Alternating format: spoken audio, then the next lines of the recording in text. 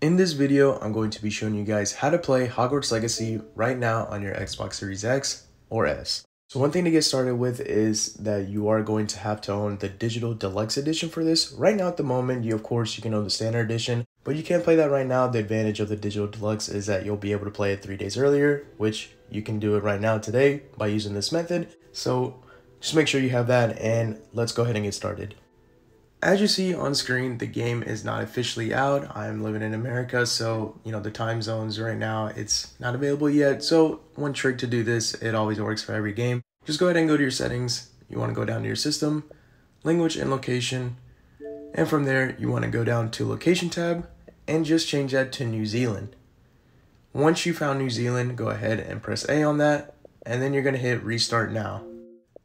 As soon as you're done restarting your Xbox, you can go back and press A on Hogwarts Legacy, and as you notice, it will let you in the game. That's because it is released in New Zealand. I'm sure it's also available in different other regions, but New Zealand is always a hotspot for accessing games a bit earlier.